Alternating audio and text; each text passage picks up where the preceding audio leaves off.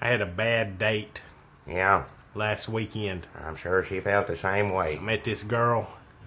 I said, why don't we go out? She said, why don't we go out tomorrow morning? I said, tomorrow morning? It's Saturday night right now. She said, I know. Why don't you come to my church with me tomorrow? Yeah, Bad idea. why? Because I don't like dates that wind up in church. Ain't nothing wrong with escorting a nice young lady to church. Yeah, if you like church. And everybody needs to like church a little bit.